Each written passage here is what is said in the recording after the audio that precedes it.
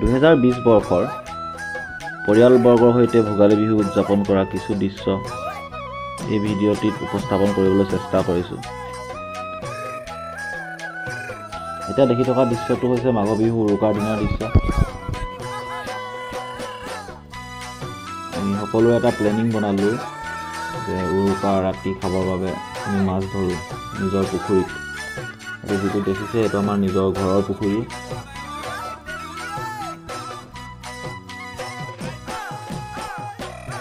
এই সকলোবোৰ দৃশ্য গ্ৰহণ কৰি আছে।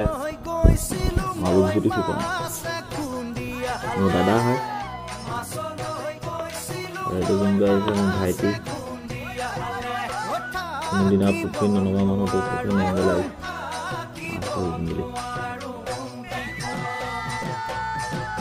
ধৰা মানুহকেইটা বেলেগ কোনো নহয় আমাৰ ওচৰৰ কাষৰে পেহা পেহী মোৰ দেউতা ভাইটি আৰু মই আৰু ওচৰৰে ভাইটি এটা। সেইকেইটাই মাছ ধৰিলে এজনী পেহীহঁতৰ ছোৱালী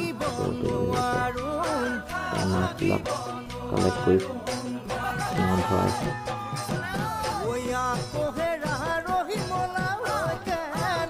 বহুত টাইমলৈকে আমি ডাঙৰ মাছ পোৱাই নাছিলোঁ। ডাঙৰ ডাঙৰ মাছবিলাক পাৰ হৈ হৈ গুচি গৈছে। জালৰ ওপৰেদি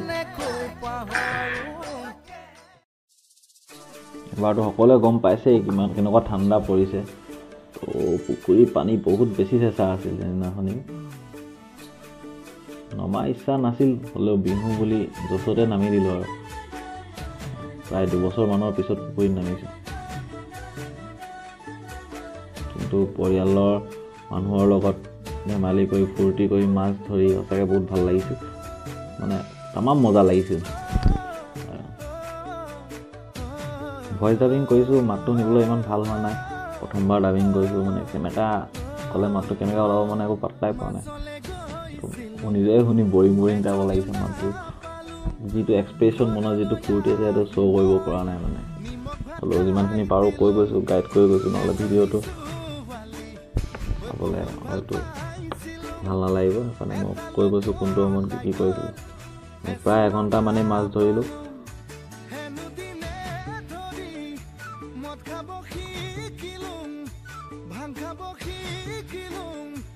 টাইমবোৰ কেনেকৈ গুচি গৈছে মানে গমেই পোৱা নাই। আকৌ এইপিনে মেজি বনাবলৈ আছেই।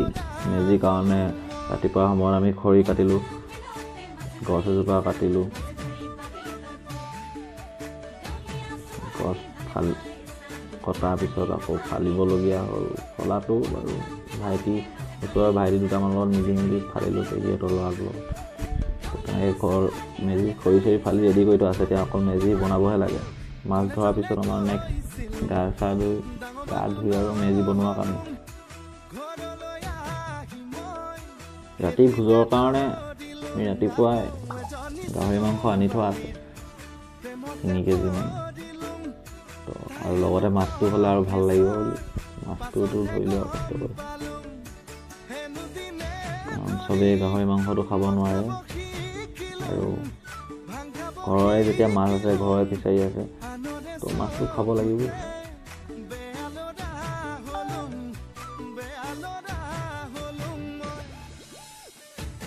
আমি বাৰু ফূৰ্তি কৰিছোঁ। আমাৰ মজা লাগিছে ধৰি মেলি কিন্তু বাকী যোনকেইজনে মেইনলি কষ্ট কৰি মাছবোৰ ধৰিলে তেখেতৰ প্ৰায় ভাগৰ লাগি গৈছিল আৰু এঘণ্টা মাছ ধৰি ধৰি। মাছ নোপোৱা নহয় মাছ পালোঁ আমি। যথেষ্ট পালোঁ। ৰাতি ভোজৰ ভোজ খাবৰ কাৰণে মানে যথেষ্ট হৈ গৈছিল আৰু মাছ।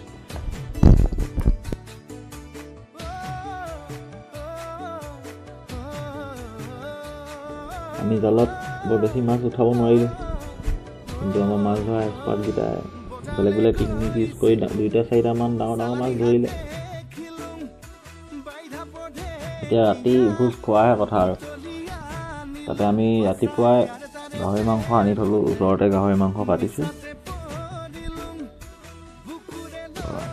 ৰাতি গাহৰি মাংস আৰু মাছৰ ভোজ হ'ব। গাহৰি মাংস যিটো আমাৰ সকলোৰে প্ৰিয় খাদ্য প্ৰায়ভাগৰে বৰ বেছি নাছিল তিনি কেজিমান আছিল মাংস।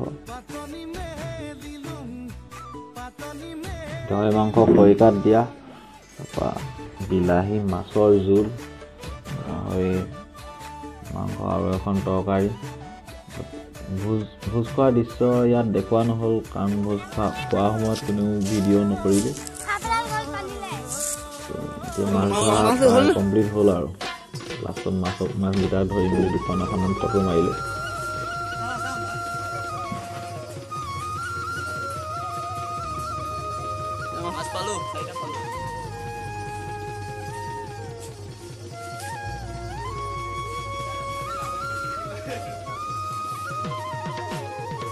মাছ ধৰি শেষ হোৱাৰ পিছত আমি কেইখনমান ফটো মাৰিলোঁ। তাৰে ফটো কেইখনমান ইয়াত আমি ভিডিঅ'টোত দিলোঁ।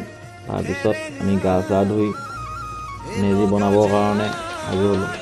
মেজি বনাবলৈ আৰম্ভণি কাম চলিছে আৰু মেজি। সকলোখিনি দৃশ্যগ্ৰহণ আমাৰ দাদাই কৰি আছে ৰূপজ্যোতি ফুকনে। মেজি।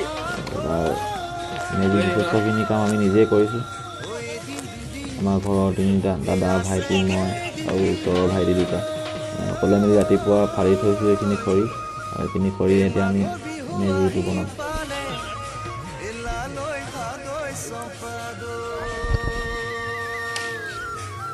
এইবাৰ সময় কম হোৱাৰ কাৰণে আমি ভেলাঘৰ বনাব নোৱাৰিলোঁ। নহ'লে ভেলাঘৰটো বনাব পৰা হ'লে আৰু ভাল লাগিলহেঁতেন।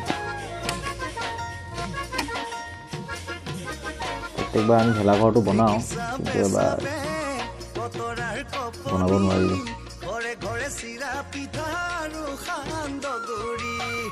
এতিয়া আমি গৈ আছোঁ মাহঁতৰ ওচৰলৈ।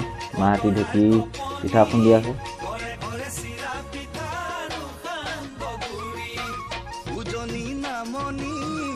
ৰাতি পিঠা পুৰিব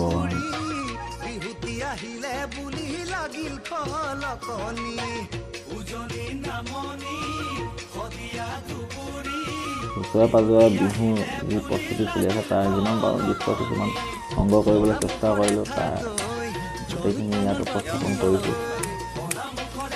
ভিডিঅ'টোৰ যোগেদি মেজি কাম প্ৰায় আধাখিনি সম্পূৰ্ণ হৈছে মেজিৰ তলত শুকান খৰি জপা হৈছে তাতে ভালদৰে জুইৰ পৰা জ্বলে মেজিটো জ্বলে। আৰু মাজে মাজে এইবিলাক শিলৈ ভৰাই দিয়া হৈছে। ধুমধাম ফুটিব আৰু।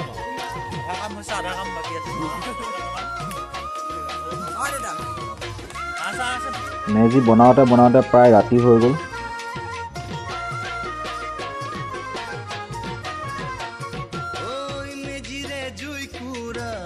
কিন্তু মেজি বৰ্তমানলৈকে সম্পূৰ্ণ হোৱা নাই মেজি কাম চলি আছে আৰু বাকী আছে। তিনি ভাগৰ দুভাগ কাম হৈছে আৰু এক মহলা জাপিব আছে।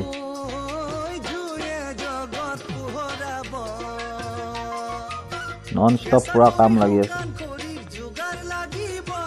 এইপিনে আমি মেজি বনাই বনাই ৰাতি হৈ গ'ল আৰু মায়ে পিঠা খুন্দি এতিয়া পিঠা পুৰি আছে। এতিয়া চুঙা পিঠা বনাই আছে। তিলৰ চুঙা পিঠা। ৰাতিপুৱা মেজি তলত খাবৰ কাৰণে। বৰ বেছি এক্সপাৰ্ট নহয় হ'লেও বনাইছে। খাই এটা কাৰণে টেষ্টি লাগিব কাৰণে মাকৰ মৰম আছে। পিঠা বনোৱা কাম প্ৰায় চলি আছে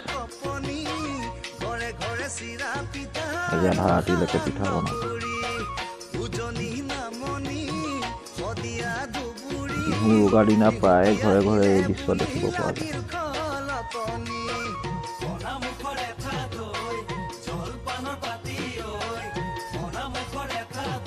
মায়ে কিবা কিবি কৈছিলে সকলোকে বিহু উলগ জনাইছিলে কিন্তু ভিডিঅ'টো স্পীডটো বঢ়াই দিয়াৰ বাবে মাতটো ভালদৰে দিব পৰা নহ'ল।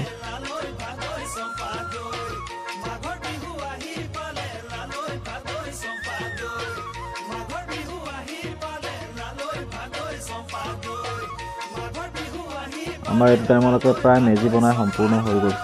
আৰু ৰাতি ভোজ ভাত খাই শুই গ'লোঁ। ৰাতিপুৱাৰ দৃশ্য ৰাতিপুৱা সোনকালে চাৰিটা বজাতে উঠি মেলি পূৰা গা চা ধুলোঁ চাৰিটাতে উঠিছোঁ। পুহমহীয়া ঠাণ্ডাত ঠাণ্ডা পানীয়ে গা ধোৱা। মজাটো পাই গৈছোঁ। গা ধোৱা দৃশ্যটো দেখুওৱা নহ'ল কাৰণ সেইটো দেখুৱাব নোৱাৰি আৰু।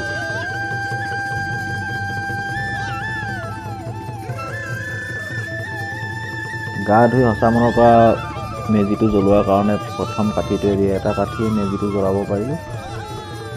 তলত শুকান খৰিত দি থোৱা আছিলে কাৰণে পূৰা দপ দপকৈ জ্বলি উঠিলে মেজিটো। অলপ ভৰাই দিলোঁ যাতে ওপৰৰ খৰিখিনিতো প্ৰায় নিয়ৰে ভৰি এতিয়া তলত জুই জ্বলাই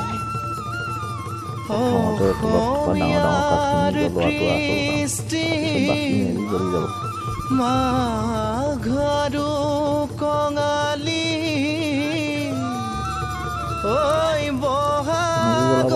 অলপ সহায় ধেমালি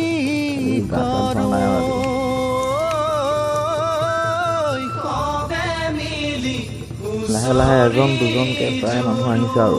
মেজি। তাপ ল'বলৈ।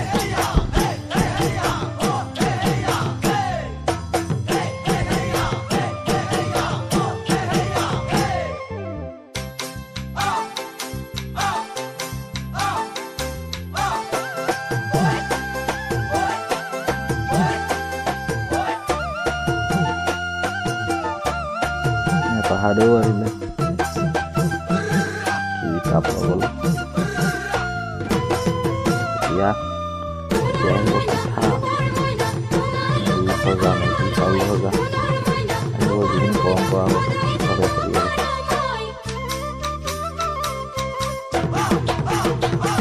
এনেকুৱা চবতকৈ বেছি মোৰ ভাল লাগিছে কাৰণ মই গা ধুই ঠাণ্ডা পানীত গা ধুই ক'লা কাপোৰ পিন্ধি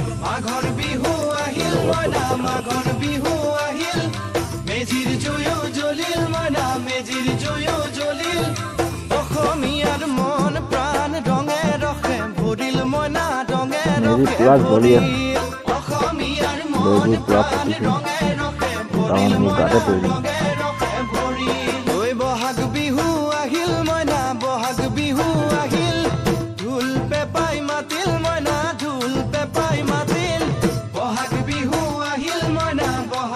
নাৰিকল আহিব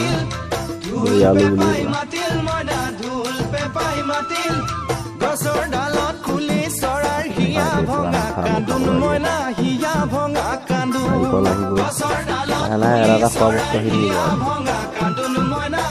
নাৰিকল ভঙা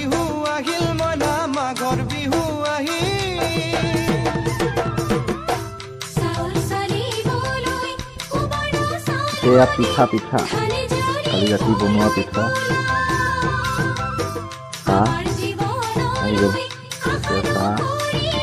সোৱাদ লৈ লৈ মেজি জুই শেষ কৰিব লাগে মেজি প্ৰায় শেষেই হৈছেগৈ আৰু চাহ ভাল লাগে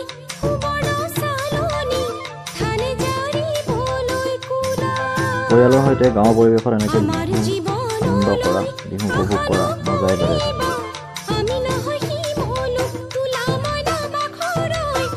শেষত ইয়াকে কৈছোঁ যে সঁচাই এনেকৈ গাঁৱত নিজৰ পৰিয়ালৰ লগত আপোন মানুহৰ লগত বিহু উপভোগ কৰি সঁচাই বহুত ভাল লাগে।